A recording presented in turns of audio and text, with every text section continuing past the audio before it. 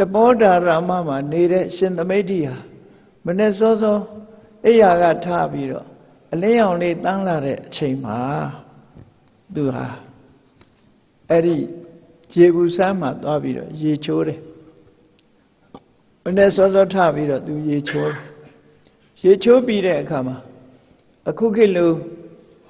ဒီအဝတ်စားတွေဘာတွေများများဆဆအဲ့ဒီခေတ်ကရှိတာမဟုတ်တော့ ရေပါချိုးမိုးပြီးတဲ့အခါကျတော့တက်မိုင်လေးပတ်ပြီးတော့ခန္ဓာကိုယ်6အောင်ဧကတိဒီတိုင်းမပတ်သေးပဲနဲ့ခန္ဓာကိုယ်6မဲ့အချိန်လေးလက်ပေါ်မှာရှိတဲ့ရေစက်ကလေးတွေပြောင်းအောင်ပုတ်ပြီးတော့ခိတ္တခဏမြတက်မိုင်လေးနဲ့ဝုတ်ပြီးတော့နေတဲ့အချိန်လေးနော်တက်မိုင်လေးတွေဝုတ်ပြီးဧကတိမယမ်းရသေးတဲ့အချိန်ကလေးမှာအဲ့ဒီရေဘူးဆန်းအနီးနားက ကောင်းငင်ရမှာနတ်သမီးတယောက်ပေါ်လာတယ်နတ်သမီးတယောက်ပေါ်လာတယ်ကောင်းငင်မှာရပ်ပြီးတော့ရှင်သမိတ်တိကိုသူကဘာလှမ်းပြောလိုက်တုံးဆို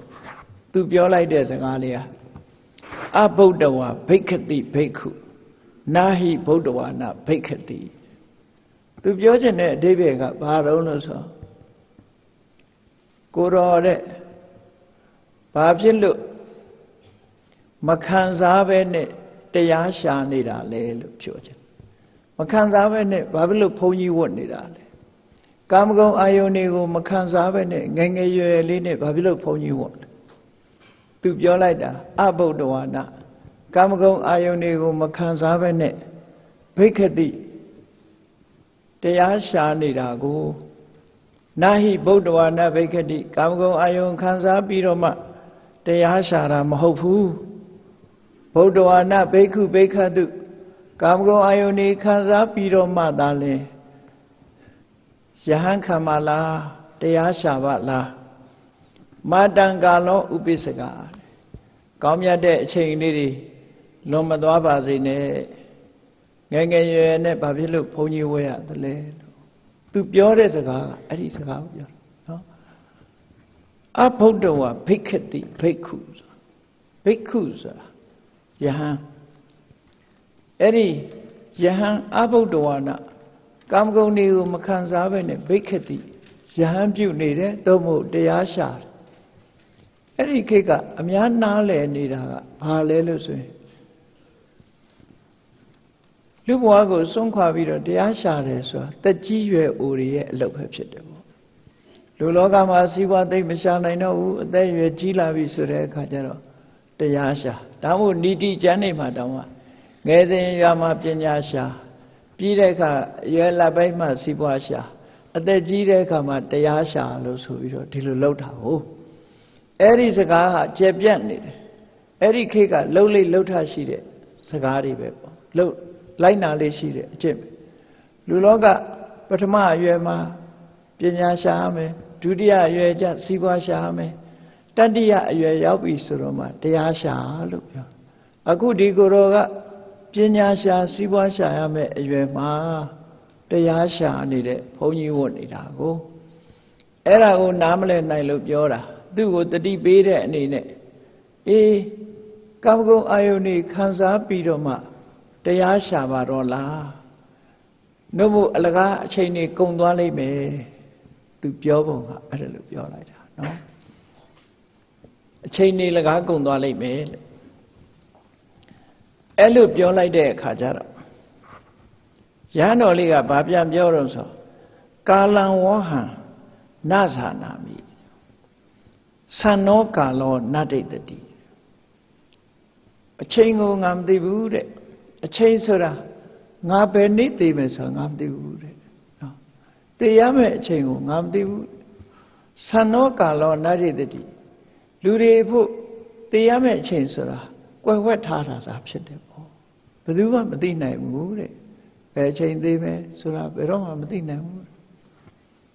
ကာလံဟောနာသနာမိအေးငါကသိရမယ့်အချိန်ကိုမသိဘူးသံနောကာလောနာဒိတတိအဲ့ဒီသိရမယ့်အချိန်ဆိုတာအမြဲတမ်းရှုပ်ဝဲကွယ်ဝှက်ထားတာဖြစ်တယ်တတ္တမအဘုဒ္ဓဝါဘိက္ခာမိ ဒါကြောင့်မို့ငါကာမဂုဏ်အာယုန်နေမခံစားဘဲနဲ့တရားရှာနေတာတဲ့နော်သိရမယ့်အချိန်မသိလို့တရားရှာနေတာမန်မန်ကာလောဥပိစ္ဆကငါမှတရားရှာနိုင်တဲ့အချိန်ကြီးကုံမသွားပါစေနဲ့ကုံသွားမှဆိုလို့ငါဟာခုတရားရှာနေတာပါလို့ဒီလိုပြောလိုက်တဲ့အခါကျတော့နော်နတ်သမီးပြောပုံနဲ့သူပြောပုံအပြန်အလှန်ပြောလိုက်တဲ့အခါနတ်သမီးကသူ့ကိုလေးစားသွားတယ်။ အော်ဒီကိုယ်တော်လေးငယ်တာငယ်တာကြည်စမ်းတရားအတိနဲ့ပါလားလို့ဆိုပြီးတော့ကောင်းကင်ကနေဆင်းသက်ပြီးတော့မြေပြင်ပေါ်မှာမတ်တက်ရမတ်တက်ရပြီးတော့သူကပြန်ပြောပြန်တယ်ဒေဟရောတုံဘိက္ခုကိုတော်တဲ့ကိုတော်ကငယ်ငယ်လေးရှိသေးတယ်ပပိစိတော်သူတုကာလကေသောအရွယ်ကနုနုပြိုပြိုဆံမင်က net တုံးနော် အရွယ်ကိုတတ်မှတ်ပြောတဲ့အခါမှာဆံမင်က net တုံးဆိုတာလေးကပါတယ်ပေါ့နော်ဆံမင်အနဲ့တုံးပဲရှိသေးတယ်အဖြူမပေါက်သေးဘူးတချို့ကြတော့ငယ်ငယ်ဖြူတာကြတော့ငယ်ဖြူလို့ဆိုတာလည်းရှိသေးတယ်နော်အဲ့တော့ဆပင်မှာအဖြူမရောက်သေးဘူးတုတုနုပြိုတုံကာလကေသောခေါင်းမင်ကခေါင်းကဆံမင်ကနဲ့တုံးဗတ္တရေနယုပနေနသမနာကတောပထမအရွယ်အရွယ်ကောင်းတုံးကလေးမှာတဲ့ ပထမေနဝရတာအရွယ်ကောင်းပြီးနုပြုံနေတဲ့အချိန်လေးမှာအနိခိလိတာဝီကာမေတုကာမဂုဏ်အာယုန်နေနဲ့ရှင်ပြားပျော်ပါပြီးတော့မနေဘူးလူတွေလိုအပျော်ပါးတွေမလုပ်ပဲနေတာကိုတဲ့နော်ငယ်ရွယ်တဲ့ပုဂ္ဂိုလ်ဆိုတာရှင်းတော့ကတရားထုတ်တယ်ရဟန်းဝတ်တယ်ဆိုတာအမတမထူးဆန်းတဲ့အနေအထားမျိုးဖြစ်လာတာအဲ့ဒါကြောင့်မို့လို့သူကဘာဆက်ပြောတော့ဆို ဘုံဇဘိက္ခုမနုဿေကာမေအေးလူတွေရရှိနိုင်တဲ့ခံစားနိုင်တဲ့ကာမဂုဏ်တွေကိုဝဝကြီးခံစားပါလားဘာဖြစ်လို့ရှောင်ပြေးနေရတာလဲလူရဲ့ကာမဂုဏ်တွေကိုခံစားပါလားမာတန္တိတိကံဟိတဝါကာလိကံအနုဒဝီကိုရောလက်တွေ့ကြတဲ့အကျိုးကိုစွန့်ပစ်ပြီးတော့လက်တွေ့မကြတဲ့နောက်မှဖြစ်ပေါ်လာမဲ့ဟာကိုကိုရောက ပြေးသွားနေတာကိုလက်တွေ့ကြကြကတော့ကိုရောအခုလူဖြစ်နေတာလူဖြစ်နေသည့်အတွက်ကြောင့်လူကာမဂုဏ်ကိုခံစားရတဲ့ခံစားရတဲ့ကာလအချိန်မကြသေးတဲ့ဟာပဲကိုမသွားနဲ့အောင်လက်တွေ့ကြတာကိုခံစားပါဆိုဒီကနေ့ခေတ်မှာလူများစုပြောနေတဲ့စကားတွေဟာလေဒီလိုပဲဖြစ်တယ်ဘုရားဘာသာမဟုတ်တဲ့နောက်တိုင်းကလူတွေဆိုပြောလို့ရှိတယ်နော် life is too short ဘဝဆိုတာတူတူလေး လူဘဝဆိုတာတူတူလေး enjoy yourself နော်ပျော်ပျော်နေဒီစကားကိုသူတို့စီမှာအများအားပြောလို့ရှိတယ် life is too short အသက်ဟာဘဝဆိုတာတူတောင်းတယ်တူတောင်းရင်တရားကျင့်မှလားလို့ဆိုမဟုတ်ဘူး enjoy yourself enjoy ပျော်ပျော်နေပါဆိုတာအဲ့ဒီနောက်ကဒီစကားလိုက်ပြီးတော့ပြောလို့ရှိတယ်ပေါ့ဘုန်းကြီးတို့တော့တခါတော့ကအ မေရိကန်ရောက်တဲ့အခါအမျိုးသမီးတယောက်ကမေးတယ်ဘုန်းကြီးဝတ်နေမေးတဲ့အခါမှာတော့ရှင်ဘုရားအိမ်တော်ရှိလားတဲ့သူတို့စကားနဲ့ပြောဟဲ့ဘုန်းကြီးဆိုတာဘယ်အိမ်တော်ရှိမလို့ဆိုသူကပြန်ပြောတဲ့စကား hot day life ပဲဘယ်လိုဘွာကြီးပါလဲ hot day life ဘယ်လိုဘွားပါလဲလို့မှတ်ချက်ချသွားတယ်နားမလည်ဘူးသူတို့မှနော်နားမလည်ဘူးငယ်ငယ်ရွယ်နဲ့သင်္ကန်းဝတ်နေတယ်ဆိုနားမလည်ဘူး အခုလည်းဒီနတ်သမီးကအဲ့တိုင်ပဲဘုံစ enjoyment enjoy human life human happiness လူတွေရဲ့ပျော်စရာဆင့်ဆွယ် desire လူတွေရဲ့ပျော်စရာဆင့်ဆွယ် pleasure ပေါ့အဲ့ဓာတွေကိုပျော်ပျော်ကြီးခံစားပါတော့လားနော်မာတဏိတိကံဟိတဝါကာလိကံအနုဒဝိ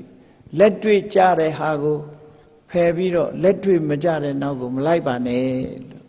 ဟောသူကတောင်ဆုံးမနေတဲ့စကားမျိုးလာပြောအဲ့ဒီကြတော့ရှင်သမိတ်တိဆိုတဲ့ရဟန်းတော်လေးကဘာပြန်ပြောတော့ဆိုနခွာဟံအာဟုသောတန်တိတိကံဟိတဝါကာလိကံအနုဒဝါမိအာဟုသောလို့ခေါ်လိုက်တယ်အာဟုသောဆိုတာတငယ်ချင်းလို့ဆိုတဲ့အဓိပ္ပာယ် friend လို့ပြန်လေးရှိကြတယ်နော်အဆွေတော်ငါဟာလက်တွေ့ကြတာကိုဖ ယ်ရှားပြီးတော့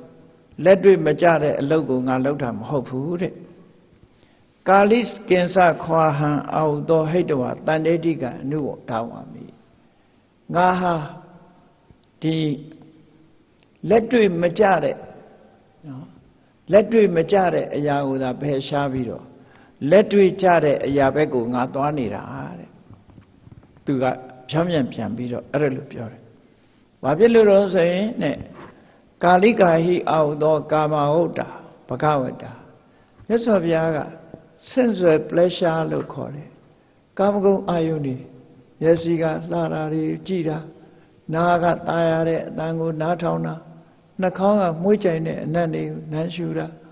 လျှာကအရသာရှိတာတွေကိုလျက်တာခန္ဓာကိုယ်ကအထိတွေ့ကောင်းတာတွေပေါ်မှာထိတွေ့တာလို့ဆိုတဲ့ဒီကာမဂုဏ်တွေကာမတွေဟာ နှစ်သက်စရာကျေနပ်စရာစိတ်ပျော်စရာကောင်းတဲ့ကာမတွေကိုမြတ်စွာဘုရားကကာလိကလို့ခေါ်တယ်တဲ့လက်တွေ့မကြတဲ့အရာတွေပဲကာလိကဆိုတာချက်ချင်းကြီးခံစားလို့ရတဲ့အရာတွေမဟုတ်ဘူးတဲ့အဲ့ဒီမှာကာလိကလို့ဆိုတာအချိန်ဆိုင်ပြီးတော့လောက်ရဥပမာမဲ့လူတယောက်ဟာကာမဂုဏ်အာယုံခံစားဖို့တခုအတွက်လှုပ်ရတာနဲတာမှမဟုတ်ပဲနဲ့နော် စိန်လေးနဲ့နေနိုင်ဖို့ရာအတွက်ရှားလိုက်ရတဲ့စီးပွားဥစ္စာသင်လိုက်ရတဲ့ပညာတွေကနဲတာမှမဟုတ်ပဲအဲ့ဒါလို့လက်တွေ့ချက်ချင်းလက်ငင်ရနိုင်တဲ့အရာတွေမဟုတ်ဘူးတဲ့ကာမဂုဏ်အာယုန်နေဆိုတာအမတန်ကြီးကြိုးစားမှဖြစ်ပေါ်လာတာဟောယာရုကောင်းကောင်းလေးရဖို့ဆိုငယ်ငယ်တည်းကကြောင်းနေရတယ်သင်ရတယ်ခုခေတ်ကလေးတွေဆိုမြင်ဘူးလားအလုတ်ကောင်းကောင်းရဖို့ရအတွက်ပညာတတ်ဖို့လိုတယ်ပညာတတ်ဖို့အတွက်ကြိုးစားလိုက်ရတာအိမ်တော်မကတ်နိုင်ဘူး ကြောင်းပြီးတော့ကျူရှင်ကျူရှင်ပြီးတော့ကြောင်းဒီထဲမှာသူတို့ကြောင်းသွားတာမိဘကတောင်တဝက်လိုက်ပြီးတော့ကြောင်းစာမကြက်ရယုံပဲနော်အဲ့ဒါလိုလိုက်နေရတာဟာဘာအတွက်လဲလို့ဆိုရင်ချမ်းသာဒုက္ခရဖို့အတွက်ဘဝမှာအောင်မြင်ကြီးပွားမှုဆိုတဲ့ကာမအာယုန်တစ်ခုအတွက်သူတို့ဟာစွန့်လွတ်ပြီးတော့လုပ်နေကြရတာဆိုကာလိကပေါ့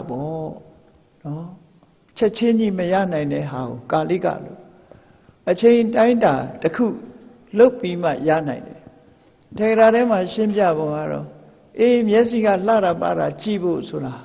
ဥပမာကိုယ်အိမ်ပတ်ဝန်းကျင်မှာတာတာရရဖြစ်အောင်ဆို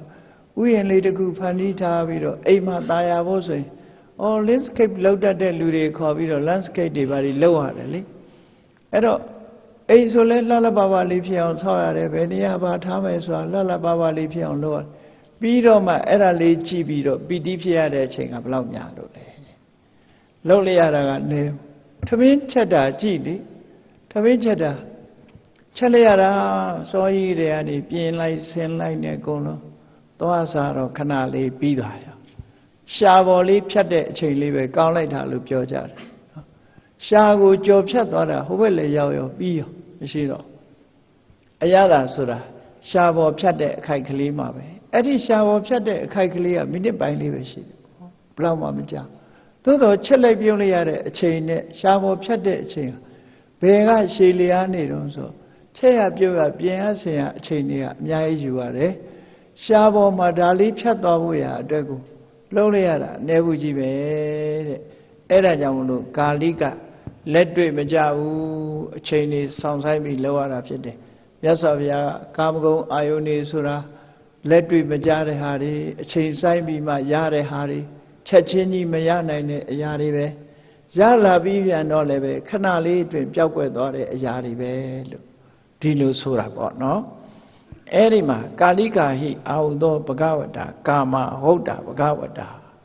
ဘဟုဒုက္ခပင်မမှုတွေများတယ်မခံစားခင်ကလည်းပင်မတယ်ခံစားပြီးပြန်တော့လည်းပင်မပြန်ရောသူကရှေ့နောက်ကဒုက္ခနဲ့ပဲညှက်ဘဟုပါယတာဆင်းရဲတယ် ဆင်းရဲမှုတွေကိုဖြစ်ပေါ်စေတယ်အာရိနဝဣဋ္ဌပယောအပြစ်တွေကအများကြီးပါတဲ့။သမင်းကောင်းကောင်းလေးချက်စားပြီးစားပြီးအ ਨੇ ဆုံးကြိုက်လို့စားလိုက်လို့အစာမကြေတဲ့ယောဂလေးကလည်းလာသေးတယ်။ဘိုက်အင်းနေတာတွေကလည်းလာသေးတယ်။ဟောနောက်ပိုင်းမှာဖြစ်ပေါ်လာမဲ့အခြေအနေတွေကအများကြီးပဲ။မတည့်တာစားမိလို့ရှိရင်ဒုက္ခရောက်အောင်ပဲ။အဲ့ဒါကြောင့်မလို့စားရတောက်တာလေးတစ်ခုတည်းပဲကြည့်။ ကြံတဲ့ဟာတွေလည်းပဲထို့တူပဲစဉ်းစားပြီးတော့သာကြည့်။ကာမဂုဏ်အာယုန်နေဆိုတာဟာခံစားတဲ့အချိန်ကအလွန်တူတူလေးပဲခံစားဖို့ရအတွက်လှုပ်ဆောင်ရတဲ့အချိန်တွေကအများကြီးဖြစ်တယ်ဒါကြောင့်မို့ကာလိကအချိန်ဆိုင်ပြီးမှအချိန်ကုန်ပြီးမှဖြစ်ပေါ်လာတဲ့အရာ ဖြစ်ပေါ်လာတော့လည်းပဲအချိန်ဟာတူတူတောင်းတောင်းလေးပဲဖြစ်တယ်အကြာကြီးခံစားလို့မရဘူးအာရိနဝအဋ္ဌဘေယောဒီကာမဂုဏ်တွေမှာ အပြစ်တွေကအမှန်တမ်းများပါတယ်ဒါကြောင့်မို့ကာမဂုဏ်တွေကိုသူကာလိကဖြစ်တဲ့ကာမဂုဏ်တွေကိုစွန့်လွတ်လိုက်တာတဲ့တန်ဒိဋ္ဌိကောအယံဓမ္မောအကာလိကောငါအခုကျင့်နေတဲ့ရှားနေတဲ့တရားဓမ္မဆိုတာကြတော့တန်ဒိဋ္ဌိကကိုယ်တိုင်လက်တွေ့မြင်နိုင်တယ်အခုတရားထိုင်အခုချက်ချင်းစိတ်နှလုံးအေးချမ်းမှုကိုရအေးထွက်လေဝင်လေလေးမှတ်နေလိုက်စိတ်ဟာဟိုရောက်တရောမရောက်တော့ တရားဓမ္မတွေမှာစိတ်ကလေးကိုငြိမ်ကြသွားအခုလို့အခုရခုနလိုထမင်းချက်တလို့ပြင်းစင်နေစရာတိတ်မရှိဘူးချက်ချင်းလေးစိတ်ဥတီချက်ထားရပြီးတော့ကောက်ပြီးတော့မှတ်လိုက်တာလေးနဲ့တည်းပဲတရားဖြစ်တယ်ပေါ့ဒီလိုဆိုတာပေါ့ပြင်ရဆင်ရတာတွေတိတ်မရှိဘူးပြီးတော့မှတ်နေသမျှကာလပတ်လုံးချမ်းသာဒုက္ခကိုပေးတယ်မှတ်ပြီးတော့လဲချမ်းသာဒုက္ခပေးတယ်တရားဒါကြောင့်မို့အယံဓမ္မောအခုငါ ရှားနေတဲ့တရားကသာလဲတန်ဋိဋ္ဌိကိုလက်တွေ့လဲကြတယ်တကယ်ကိုအခုလို့အခုရတယ်အာဂါလိကောအခုလို့အခုရတယ်အချိန်ဆိုင်စရာမလိုဘူးအေဟိပတိကိုလာကြည့်စမ်းပါလို့တောင်ဖိတ်ခေါ်ပြလို့ရတယ်ဩပနေဤကိုကိုယ့်ရဲ့စိတ်ထဲနှလုံးထဲကိုအလင်းအမြန်အခုထက်အခုစိတ်ချမ်းသာမှုကိုရတာဖြစ်သောကြောင့်ကိုယ်စိတ်နှလုံးထဲမှာအမြဲတမ်းရောက်နေဖို့ကြိုးစားသင့်တယ်ပစ္စတံဝေရိတဘောဝိညူဟိ အသိပညာရှိတဲ့ပုဂ္ဂိုလ်သာလက်တွေ့ကြကြခံစားနိုင်တယ်လို့ဒီတရားဟာတန်ဋိဋ္ဌိကဖြစ်လို့ငါဟာလက်တွေ့ကြတဲ့တရားကိုလိုက်ချင်းတာဖြစ်ပါတယ်လို့